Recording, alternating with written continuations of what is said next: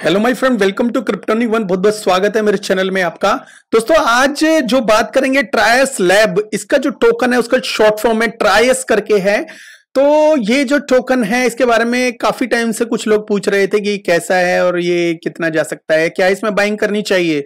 तो दोस्तों, मैं आपको बता दूँ कि ये जो टोकन है, ये एक ऐसा इकोसिस्टम है एल्गोरिदम है जिसके अंदर कोई भी डेवलपर आके अपनी एप्लीकेशन बना सकता है। मेन चीज़ है प्राइवेट सी होगी उसके अंदर मतलब वो प्राइवेट ट्रांजेक्शन होगी। इसमें अगर आप अपने आप को एनोनिमस रखना चाहते हो, जैसे बहुत सारे प्राइवेसी कॉन्ट्रैक्ट होते हैं, उसके अंदर कुछ भी ट्रांजेक्शन अगर नहीं दिखाना चाहते, आप तो आपके ऊपर है, पूरी कंट्रोल्ड है। तो प्राइवेसी जो नेटवर्क है मतलब ये एक तरह का तो इसके ऊपर जो जो एप्लीकेशन भी बनेगी, वो भी प्राइवेट एप्लीकेशन बन सकती है, कोई प्रॉब्लम नहीं है, ठीक है? जैसे एक एग्ज़ाम्पल मैं बता दूँ, किसी बैंकिंग की एप्लीकेशन बनानी है तो वो ट्रांजैक्शन ये तो ज़रूरी नहीं है कि भाई किसी को दिखाई जाए, ठीक है? ब्लॉकचेन से रिलेटेड है, लेकिन अगर आप चाहो तो अपनी ट्रांजेक्शन को एकदम प्राइवेट रख सकते हो, कोई प्रॉब्लम नहीं है। इसमें एक टी करके एल्गोरिदम यूज़ होता है, जो मोस्ट ऑफ़ द प्राइवेसी जो नेटवर्क्स में यूज़ होता है। दोस्तों, इसमें जो चार चीज़ों को बड़े ध्यान से इसके अंदर की मतलब एकदम ध्यान को केंद्रित करके बनाया गया है कि एक तो स्केलेबिलिटी का पूरा ध्यान दिया गया है, दूसरा सिक्योरिटी का पूरा ध्यान दिया गया है क्योंकि अगर कोई ट्रांजेक्शन वगैरह होती है प्राइवेट तो उसमें सिक्योरिटी का पूरा पूरा ध्यान होना चाहिए। ये ना हो कि भाई Uh, कोई भी एप्लीकेशन बनी है उसमें सिक्योरिटी नहीं है इसके ऊपर तो वो तो बेकार है फिर तो फ़ायदा नहीं है उसका। तो इसके अलावा जो तीसरी चीज़ है privacy to user without identity तो आइडेंटिटी के बिना मतलब अगर आप कर रहे हो, कोई ट्रांजेक्शन कर रहे हो तो कोई कैचअप नहीं कर सकता। वो ट्रांजेक्शन चाहे एक लाख रुपए की है, वो भी नहीं देख सकता और किसने करी है, ये भी नहीं देख सकता। ठीक है? सिंप्लीफाई द डैप डेवलपमेंट इन्होंने जो डैप को कुछ इजी तरीके से मेंशन किया है कि इस तरह से आप डेवलपर के फ़ायदे की बात है। ये डेवलपर अगर कोई बिल्डअप करता है तो वो इजिली यहाँ पे बिल्डअप कर सकता है और अपनी एप्लीकेशन बना सकता है। वो भी प्राइवेसी से रिलेटेड ठीक है? इनका जो नेटिव टोकन है, वो है ट्रायस तो ट्रायस टोकन जो इनकी जो ट्रांजेक्शन वगैरह होती है, उसके अंदर यूज़ होता है, ठीक है? इसमें दो तीन इकोसिस्टम है जिसकी जिस लेयर्स है, आप कह सकते हो कि इसमें जो लेयर्स हैं दो तीन लेयर हैं जिसकी जो ये इकोसिस्टम को बिल्ड करते हैं, ठीक है? वो जो लेयर्स जो इसमें काम करती है, पहली है लेयर लेविटेशन भी ट्रांजेक्शन वगैरह इसमें होती है, उसको उनको कंफर्म करता है और कि ये जेनुअन है कि नहीं है इसमें जो भी इकोसिस्टम हम आ, क्लिक करते हैं ओके करते हैं तो वो उसको कंफर्म करता है कि ये जेनुअन है कि ये कोई स्कैम है जो भी है। ठीक है? दूसरा है प्रोमेथ प्रोमेथ जो होता है वो ट्रेस करता है डिस्ट्रीब्यूशन फ्रेमवर्क को। और सॉफ्टवेयर की डेवलपमेंट को भी मतलब एक तरह से डिस्ट्रीब्यूशन हो रहा है कि नहीं हो रहा, और और दूसरा कि जो सॉफ्टवेयर का जो डेवलपमेंट है वो सही सही काम कर रहा है कि नहीं कर रहा, ठीक है? और जो तीसरा है, वो है मैग काटा करके है। तो मैग काटा बेसिकली जो चेक करता है स्मार्ट कॉन्ट्रैक्ट की एग्जीक्यूशन जैसे किसी ने डेवलपर ने उसके ऊपर कोई डेवलप किया, उसमें स्मार्ट कॉन्ट्रैक्ट किया, उसकी एग्जीक्यूशन हुई है नहीं प्रॉपर तो एग्जीक्यूशन को वो चेक करता है और मैनेज करता है कॉस्ट को कि भाई ऐसा तो नहीं है कि वो जो एग्जीक्यूट कर रहा है स्मार्ट कॉन्ट्रैक्ट उसकी कॉस्ट कुछ बाय मिस्टेकन कुछ ज़्यादा आ रही है, इतनी आनी नहीं चाहिए या कोई बग है और बेनिफिट जो कॉस्ट और बेनिफिट को कंट्रोल करता है और स्मार्ट कॉन्ट्रैक्ट एग्जीक्यूशन में हेल्प करता है। ठीक है? तो ये हो गया इकोसिस्टम देखो, ज़्यादा गहराई में जाने का कोई फ़ायदा नहीं है। हमें अब देखना है, जो सेकेंड चीज़ देखने की इसके अंदर क्या है वो ये है, इसका सीईओ भी मैं दिखा देता हूँ आपका, इसका सीईओ का नाम है एन बैंग रुआन ये थोड़ा सा एक्सपीरियंस्ड बंदा है और founder and CEO at Trias foundation Trias foundation का ये जो ऑनर है, ठीक है? तो अब देख लेते हैं दोस्तों कि इसकी जो अनलॉकिंग होने वाली है नेक्स्ट जो अनलॉकिंग जो होगी नेक्स्ट मैं बता देता हूँ आपको। अभी चल रहे हैं, जुलाई चल रहा है, अगस्त में इसकी जो अनलॉकिंग है, एक तो ठीक है? वो 1.11 परसेंट है मतलब 111 458 करके पर मंथली बेसिस के ऊपर दिखा रहे हैं यहाँ पे। और सितंबर 14 में है, फिर अक्टूबर 14 में है, और नवंबर 14 में है, दिसंबर 14 में, ठीक है? तो हर महीने के आसपास इसमें अनलॉकिंग हो रही है। तो अनलॉकिंग हो रही है तो मार्केट में सर्कुलेशन सप्लाई बढ़ेगी, ठीक है? सर्कुलेशन सप्लाई कहाँ पे बढ़ेगी दोस्तों? सर्कुलेशन सप्लाई लिस्टेड है, वहाँ पे ये डंप की जाए। ये भी हो सकता है पॉसिबल है। क्योंकि ये मेरे ख्याल में तो एक दो एक्सचेंज के ऊपर ही लिस्टेड है। वो एक तो डिसेंट्रलाइज वे में पैनकेक स्वैप के ऊपर है।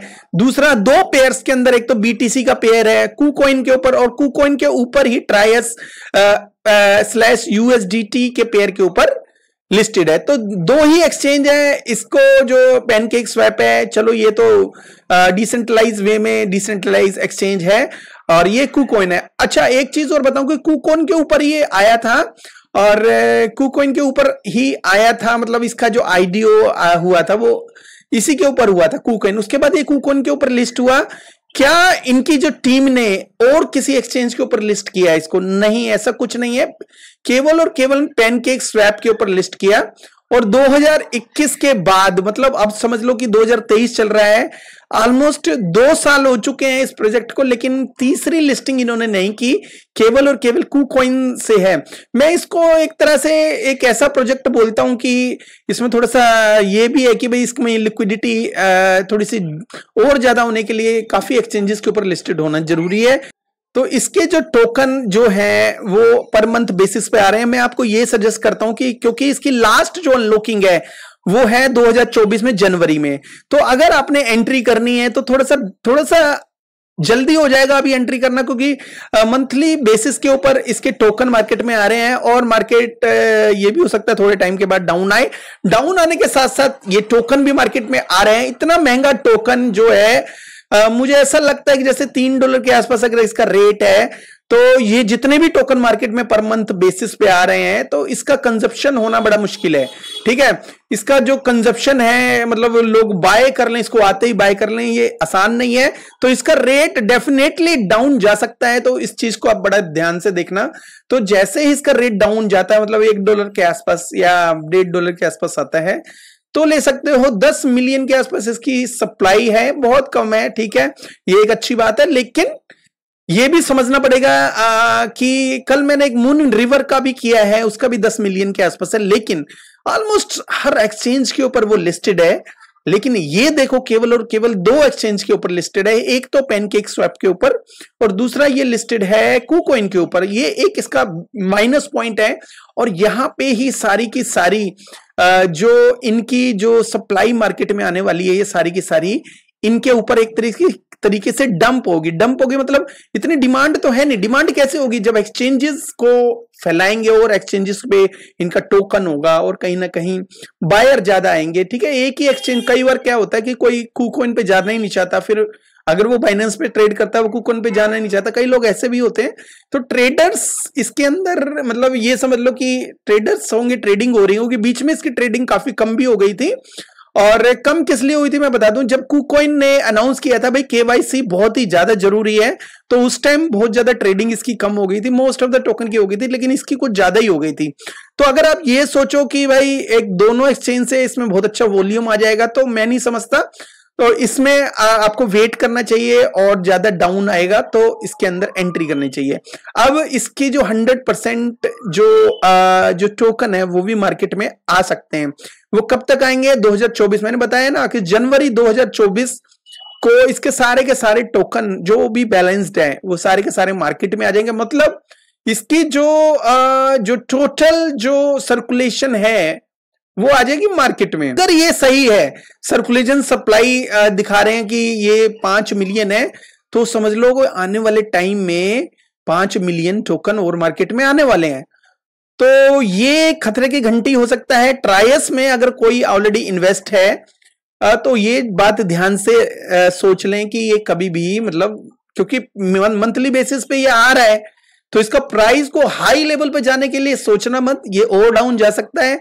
मैं नहीं समझता कि ये बहुत ज़्यादा ऊँचा जाएगा, ये ज़्यादा ऊँचा जा सकता है, ऐसी बात नहीं है, लेकिन अभी नहीं, अभी ये डाउन जाएगा। अभी शॉर्ट टर्म में अगर देखें तो ये काफ़ी डाउन जा सकता है कि इसका जो प्राइस है वो तीन डॉलर के आसपास है मतलब साढ़े तीन डॉलर से ऊपर है, और इसका जो मार्केट कैप जो ऑल टाइम हाई गया था जब भी ये मार्केट में आया था 2021 में, ठीक है? जो बुल रन आया था, ये कह सकते हो? तो 2021 में ये जो इसका ऑल टाइम हाई गया था, वो इसका जो मार्केट कैप किया था 125 मिलियन के आसपास, ठीक है? उसकी उस टाइम हाइप थी, बहुत सारे टोकन बहुत सारे जो नेटवर्क थे, वो मार्केट में थे नहीं इसकी तरह धीरे धीरे काफ़ी सारा कंपटीशन हो गया। तो फिर भी हम इसको यहाँ से थोड़ा सा अच्छा समझ लेते कि अच्छा गेन कर लेगा बिकॉज़ ठीक ठाक प्रोजेक्ट है, ना मतलब ज़्यादा हाइप है, ना ज़्यादा कम है, ठीक है? टोकन की जो सप्लाई है, वो काफ़ी कम है। अब ये देख लेते हैं कि ये जो टोकन कितना जा सकता है ये बहुत इंपॉर्टेंट है। आ, 125 मिलियन के आसपास गया है तो हम समझ लेते हैं 400 मिलियन एक यू नो इजी सब्जेक्ट है इसके लिए 400 मिलियन इसकी जो मार्केट कैप आराम से जा सकती है। तो 400 मिलियन और जो टोटल जो सप्लाई है इसकी, जो 10 मिलियन पूरी आ जाएगी मार्केट में, वो कब आएगी? 2024 तक। तो ये समझ ले कि 2025 तक सर्कुलेशन सप्लाई तो 10 मिलियन ही रहेगी, ठीक है? जो सर्कुलेशन सप्लाई जब 10 मिलियन रहेगी, उसके बाद ये 400 मिलियन जाता तो इसका जो प्राइस है दोस्तों 400 मिलियन इसकी मार्केट कैप होती है तो इसका प्राइस 40 डॉलर तक जा सकता है मेरे हिसाब से, ठीक है? तो 40 डॉलर मेरे हिसाब से कोई ज़्यादा तो नहीं है, लेकिन फिर भी ठीक ठाक इसका एक एक एक हिसाब से हम कह सकते हैं कि हाँ अगर 400 मिलियन चला गया तो अगर 300 मिलियन गया तो और भी कम मतलब ये समझ लो कि ये 10x के आसपास का प्रोजेक्ट है टेन से 15 ज़्यादा से ज़्यादा खींच के चलोगे तो 15 हो जाएगा। तो लोग ये इसमें बुलिश हैं। अगर कोई कई मैंने वीडियो देखे तो हज़ार एक्स और दो हज़ार एक्स तो आ, ये तो हम प्रीवियस हिस्ट्री को देख के ही करते हैं कि नेक्स्ट में क्या होगा। और ये इतना बड़ा कोई ये नहीं है कि भाई बहुत बड़ी चीज़ है और इनकी अपनी ब्लॉकचेन है। अभी तो ऐसा कुछ भी नहीं है ठीक है? एक इंफ्रास्ट्रक्चर है ये प्रोवाइड करते हैं और कोई भी अपनी जो प्राइवेसी एप्लीकेशन बनाने के लिए इसको यूज़ कर सकता है कोई भी डेवलपर और अच्छी एप्लीकेशन बिल्ड ये क्लेम करते हैं। लेकिन एडॉप्शन कितनी हो रही है, ये भी डिपेंड करता है कि एडॉप्शन अगर कम है, ज़्यादा है। लेकिन फिर भी इसको मीडियम उसकी कैटेगरी में लेके चलते हैं तो ये टेन एक्स इजिली हो सकता है। मतलब मोर देन टेन एक्स का प्रोजेक्ट है, ठीक है? मोर देन टेन एक्स का मतलब टेन टू फिफ्टीन एक्स हो सकता है। फिफ्टीन एक्स कुछ ज़्यादा हो जाएगा। लेकिन फिर भी 12 13 एक्स समझ लो, इसका 12 13 एक्स इजिली होना चाहिए ये। ठीक है? फाइनेंशियल एडवाइस नहीं कि मेरा वीडियो देख के इसको खरीद लो बट जो भी है, जो आपके सामने है, और एक चीज़ और मानने की बात है कि प्राइवेसी जो इकोसिस्टम्स है, वो फ्यूचर में, क्योंकि गवर्नमेंट जो होती है प्राइवेसी इकोसिस्टम को पसंद नहीं करती है। ठीक है? क्योंकि बहुत सारे टोकन इकोसिस्टम ब्लॉकचेन जो ऐसा काम करती है, वो लोग यू नो प्राइवेसी इकोसिस्टम पसंद इसलिए नहीं करती क्योंकि उसमें ट्रांजेक्शन हिडन होती है। मतलब ये पता ना बड़ा मुश्किल होता है कि किसने खरीदा किसने बाय किया एक ट्रांजेक्शन यहाँ से कहाँ गई क्या हुआ कुछ पता नहीं चलता। तो कहीं ना कहीं गवर्नमेंट इस चीज़ को लेके भी सीरियस है। हाँ गवर्नमेंट कब इन चीज़ों के ऊपर अटैक करती है ये नहीं पता। हो सकता ना भी करे हो सकता है कुछ इस चीज़ को इसके सॉल्यूशन के लिए थोड़ा सा रूल रेगुलेशंस लेके आए। लेकिन तो आ, ये दोनों तरह से एक तो ट्रायस लैब है ठीक है दोनों तरह से ले सकते हो। ये प्राइवेसी है और प्राइवेसी है तो सरकार को थोड़ा सा दिक्कत है ठीक है। अगर आप होल्ड रखा हुआ है इसको ठीक है। अगर होल्ड रखा हुआ है तो होल्ड रख लो ठीक है। अगर आप इतने में सेटिस्फाई हो बारह तेरह एक्स में अगर आप ये भी सोचते हो कि माइंड में कि फ्यूचर में गवर्नमेंट कोई दिक्कत कर सकती है तो आपकी अपनी मर्ज़ी है क्या करना है इसके साथ? एनीवे anyway, तो ये छोटा सा रिव्यू था ट्राइस लैब ट्राइस टोकन के बारे में। और अगर आपको ये अच्छा लगे तो लाइक एंड सब्सक्राइब कर दीजिएगा। Thank you very much have a good one take care